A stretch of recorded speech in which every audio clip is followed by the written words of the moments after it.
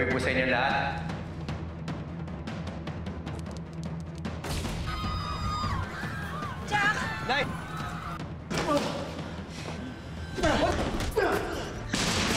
Naabutan mo ba yung shooter sa kabilang building?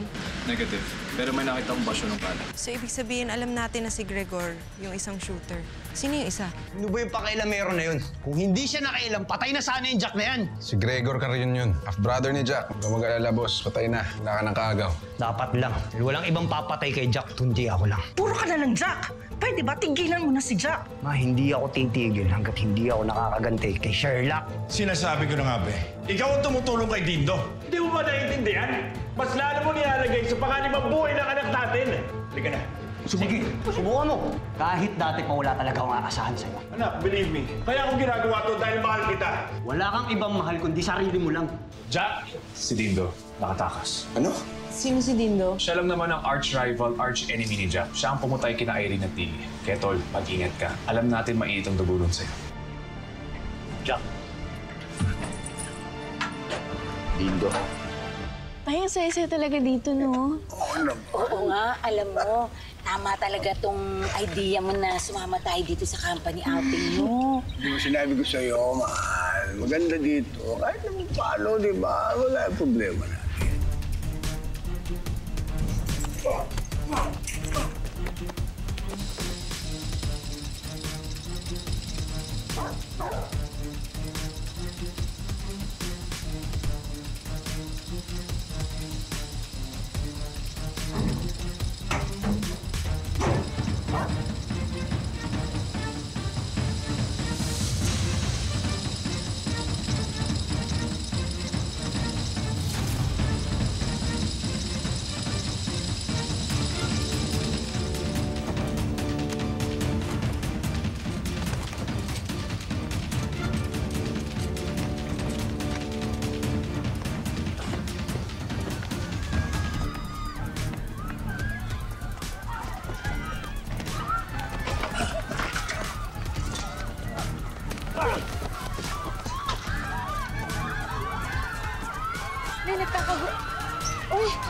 Teka. Karay! Kuya mo ba yun? Ay, Si Jack nga yan. kuya mo nga! Kuya! Sandali. Tulungan mo! Tulungan mo yung anak ko! Pero sandali lang, hindi ko kayo maiwan dito. Paano kayo dito?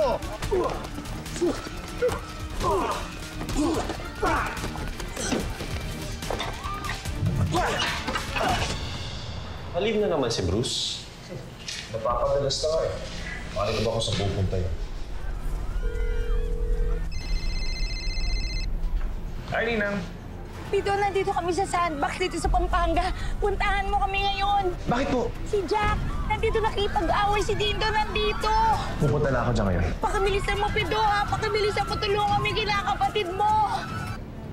Si Dindo Carazo nakita sa Pampanga. Makipag-coordinate ka sa mga polis doon. Papunta na ako ngayon doon. Ay,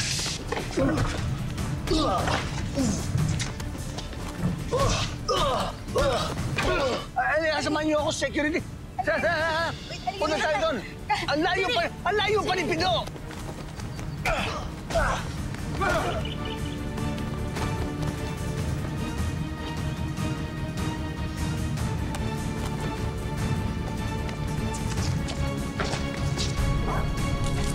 How could you, Lawrence? How could you do that to your own son? Wala ka na ba talagang concern sa kanya? Concern nga ako sa kanya, kaya akong ginagawa yun. Oh, really? You have a funny way of showing your concern. Senator, excuse me po. Senator. Kasalukuyang pinaghahanap ng local police ng Pampanga si Dindo Carazo na huling namataan sa isang theme park doon. Ayon sa aming informante, dinukot niya ang investigative reporter na si Sherlock Jackson Jr. Kaya ngayon ay tinutugis siya ng mga pulis. Pag may masamang nangyari sa anak ko, kasalanan mo to, Lawrence! Ako? Ikaw ang nagpatakas sa kanya sa kulungan. Ikaw ang nagdala sa kanya dito. Bakit? Masama ba kung gusto ko lang naman makalaya ang anak ko, ha? At what price, Carolina? Alam mo ba, ginagawa ng mga pulis sa mga fugitives, kung sakasakaling manlaban siya, hindi sila magdadalawang isip na patayin siya. Huwag mo sabihin yan. Bulag ka talaga. Can't you see? Dindo has a psychological problem. He's very unstable. Walang problema ang anak ko. Kayo! Kayong may problema. Kayo ang nagtutulak sa kanya para gumawa ng masama! Hindi mo siya matutulungan kung lagi mo nalang kinukonsinte ang mga masasamang gawain niya. Mike, let's go. Let's go!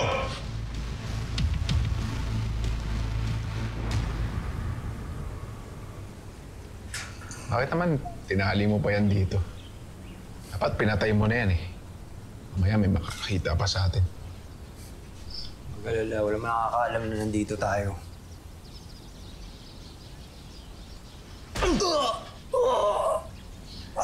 Gising ka. Di ako sanay may paglaro sa tulog.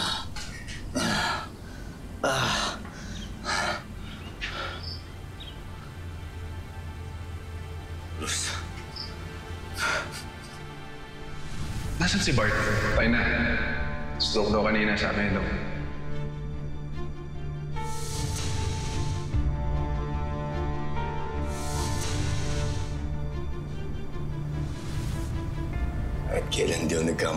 sa pagtutuda sa'yo. Ikaw pumatay kay Bart. Hayop ka. Ako ngayon, may magagawa ka ba? Dadalhin mo na sa hukay at nalaman mo.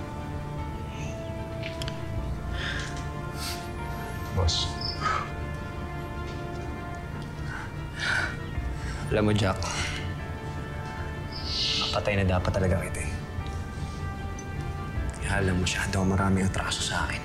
Pinahirapan mo pa ako. Kaya papahirapan mo na din ito ngayon.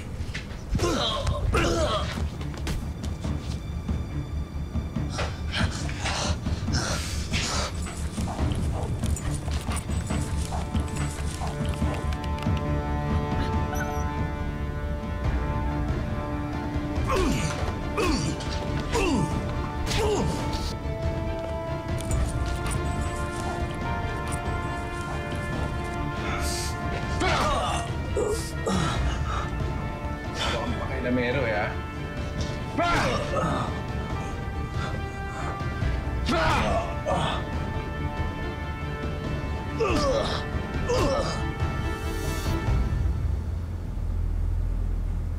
Nay Perla! Nay Perla! Siri, nasa si Jack! Nandoon sila, madam. Oh, ito na ba ang police eh? Mama, police! Mama, please, tulungan niyo ako. Yung anak ko, Ano pong nangyari sa anak niyo? yun po nakipag-away to kay Dito Carazo, yung pong tumakas. Eh, Saan sila? Ah, Siri, Siri, sabi mo! Siri, Nandoon sila. Halika, dalhin ko kayo sa kanila. dali siya! Ayaw niya!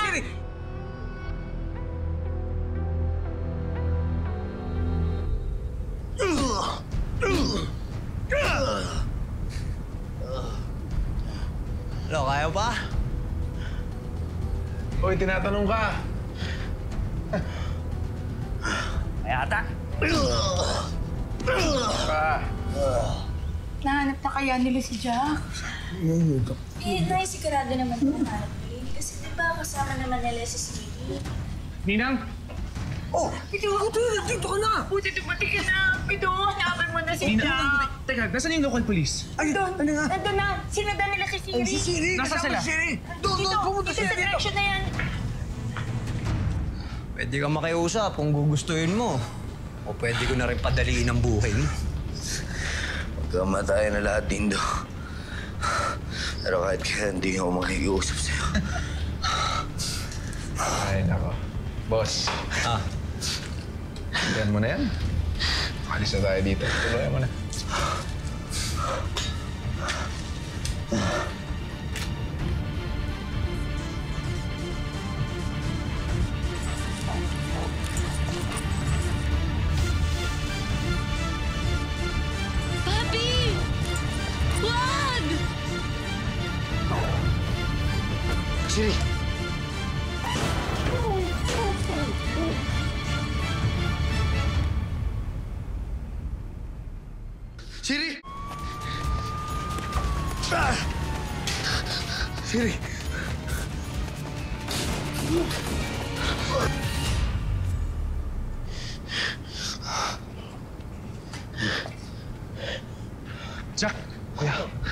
Ito, si Bruce.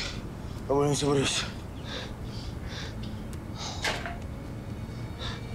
Siri.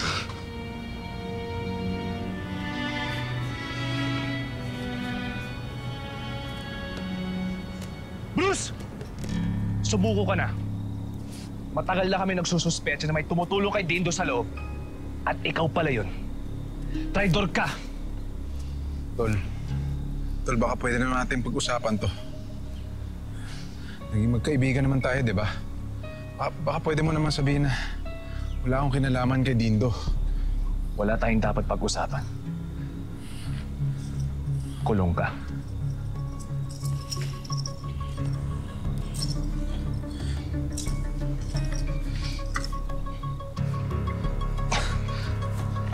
Pido,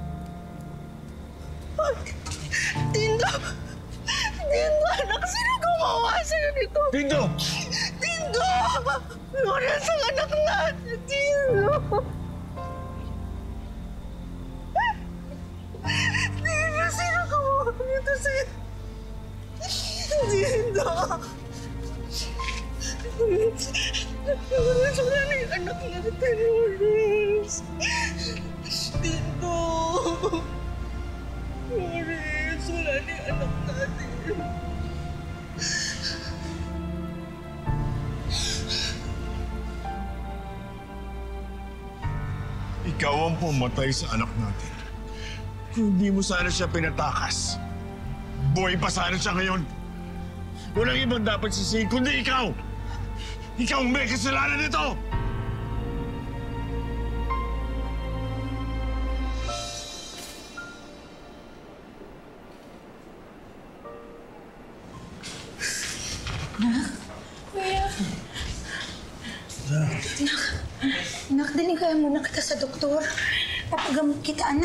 Anak, ng mga sugat mo. Oo. Kuya, kamusta na si Siri? Naoperahan siya kaya.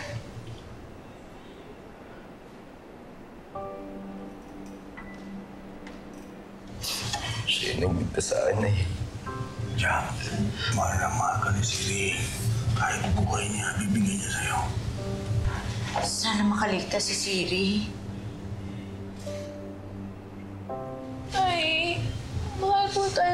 Siri. Ipakita naman po natin sa kanya kung gaano rin natin siya kamahal. Nay, saklasin natin si Siri.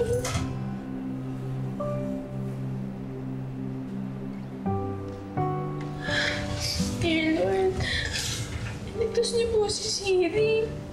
Ilang beses niya na po niligtas yung mga buhay namin. Lalo-lalo na po yung kay Kuya. Huwag niyo na po muna siyang kunin sa amin. Kahit po minsan nawala siya. Siya yung nagdala ng saya sa bahay namin eh. Lord, tulungan niyo po yung mga doktor na maligtas si Siri.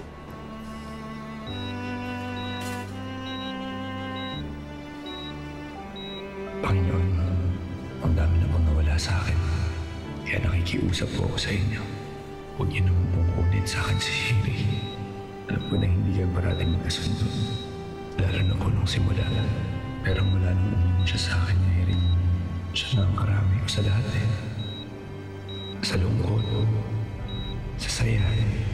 At ngayon, hindi ko na alam kung anong gagawin ko kung wala siya. Siya na lang natitirang mag-aala sa akin Irene. At siya ang pinaka-loyal kong best friend. Huwag niyo pong hayaan na mawala siya sa akin. Mahal na mahal ko po siya.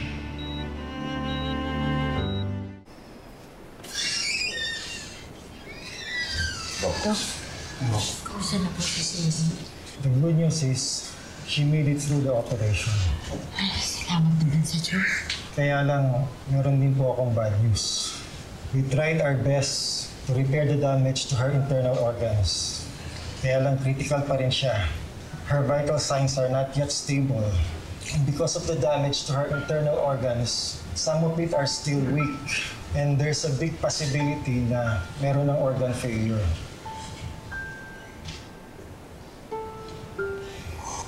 Isa pa, She's in a lot of pain.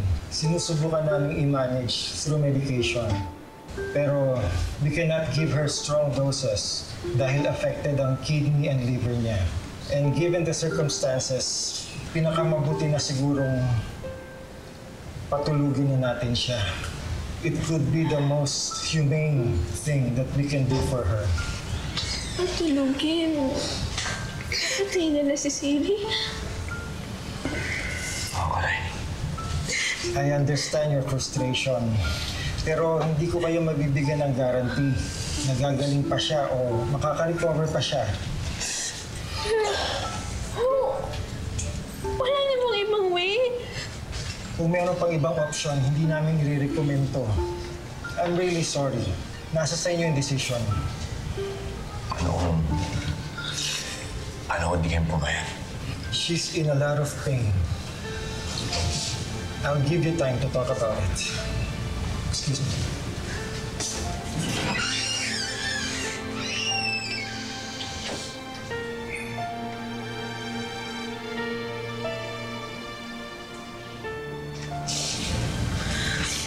Kuya.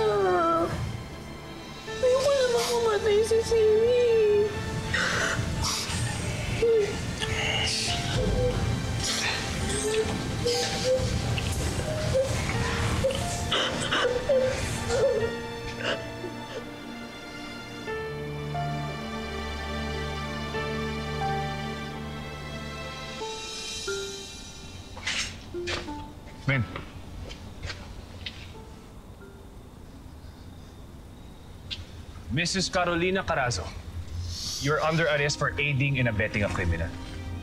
Wala akong ginagawang masama. Nagsisinungaling itong kasama ko kasi galit siya sa akin. Hindi siya nagsabi. Si Bruce. Inamin niyang lahat. At inamin niya, ikaw ang tumulong sa kanya sa pagtakas kay Dindo sa presinto. Sumama kayo sa amin. No. O hindi ako sasama sa inyo. Lawrence, please, tulungan mo ako. Hindi ako sasama sa inyo. Lawrence, ano ba? Maawa ka naman sa akin. Tulungan mo ako. Tulungan mo ako, Lawrence. Please, please, tulungan mo naman ako. Wala akong ginagawang masama. Lawrence, ano ba? Tulungan mo naman ako. Lawrence! Lawrence! Lawrence! Bunso, ikaw ang nagbigay na siya sa bahay natin. Mahal na mahal kita.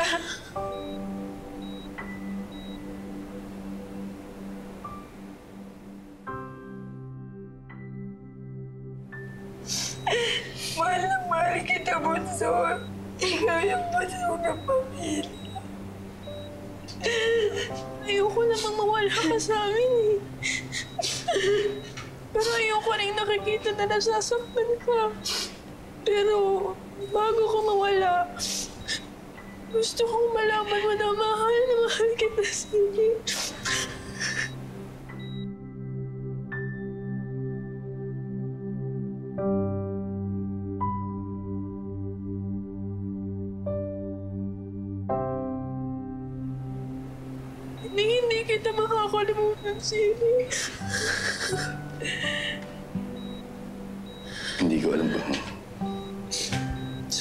Magsisimula. Pero alam ko, nung una ayaw na ayaw mo sa akin. Ganun din ako. Ayaw na ayaw ko rin sa'yo. Pero simula nung iniwan ka sa akin ng mami Irene mo,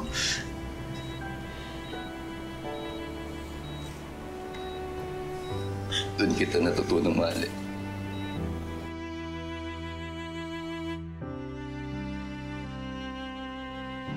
Hindi na kita matiis.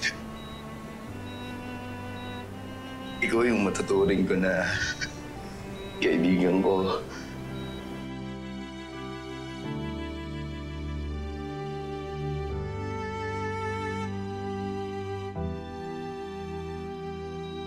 Sidekick ko.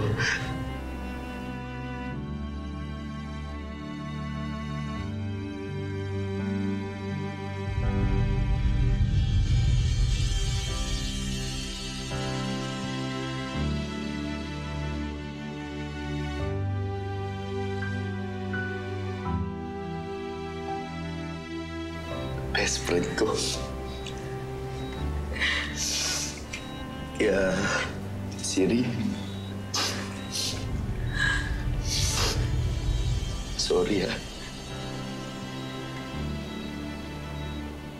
Hindi ko na kailangan namin gawin to sa'yo. Ayaw lang namin na mahirapan ka. Kasi ganun ka namin kamahal eh. Ngayon, kikita na kayo ng mama mo. Makakasama mo siya ulit. Alam ko, miss na miss mo na siya.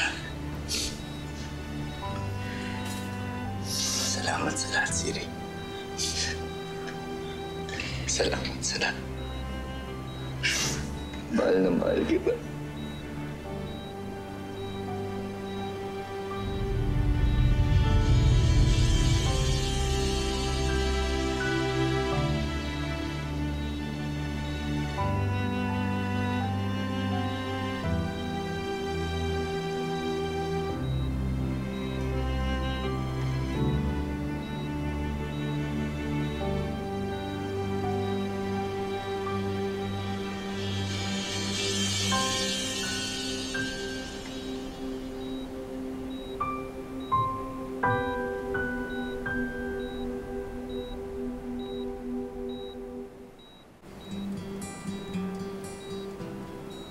Papi? Dok, Dok, sandali. Gum gumalaw ko si Siri. Siri? Siri, naririnig mo ba ako? Yes, Papi. Naririnig kita. Siri, kailangan mo ipakita sa na kaya mo, ha? Na lumalabang ka. Please, please. Did you see that? Mukhang nagre-respond siya sa'yo ah. Please. Nakikiusap ako, ha? Lumaban ka para sa amin lahat. Hindi pa namin kaya na wala ka eh. Kaya please, Siri. Lalaban ako, Papi. Para sa'yo, Papi. Dok, hindi na ho namin tutuloy ang injection. Hindi ho namin sinusukat, Siri. Gawin po natin lahat kung anong pwede natin gawin. Basta mabuhay lang siya. Kayo makisunod.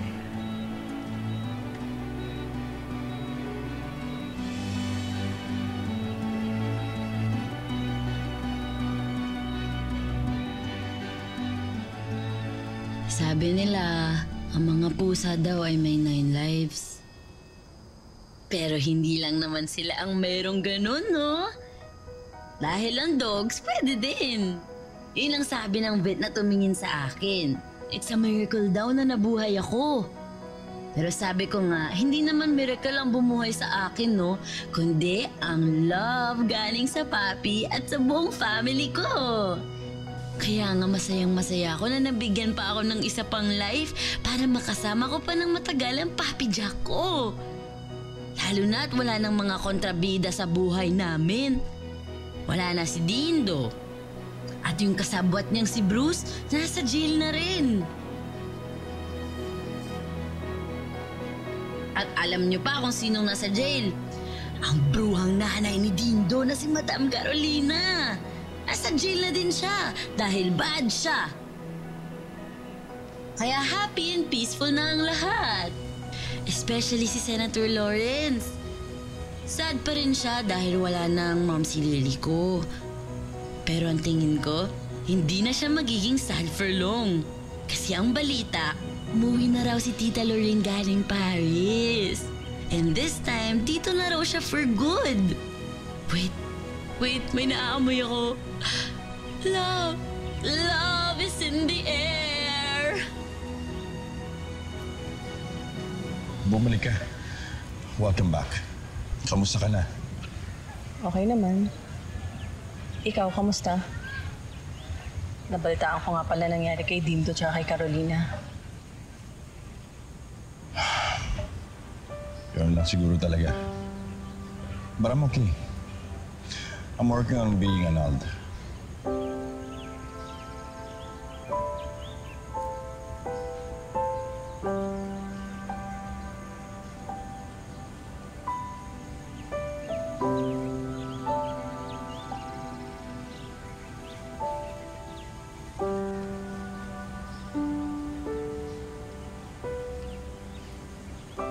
We gotta go and kebab after this.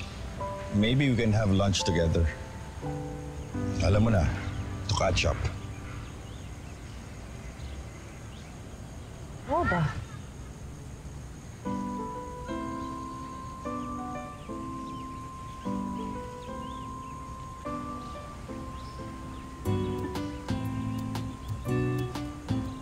Love is just not in the air, but it's everywhere!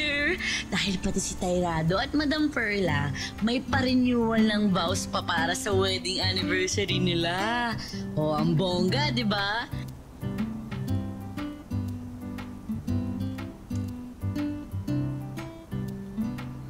Hindi lang sila ang kumikislap ang mga mata noong araw na yun, no? Pati si Napido at Josa. Si Papi Jack naman, single pa rin. Marami siyang girlfriends. As in, friends na girls, ha? Pero hanggang doon lang muna sila. Ewan ko ba, parang may trauma pa ata siya. O baka dahil super busy din siya. Sikat na sikat na kasi ang tag team namin ni Papi. Kaya nagtayo kami ng sarili naming detective agency. Yes! Partners na nga kami ni Papi. At dahil sa brains niya at sa galing ko, together ang dami na naming cases na solve. Siri, halika na. May kaso pa tayo. Bye guys! Gotta go! May mystery pa kami ni Papi na kailangan isolve. Babu!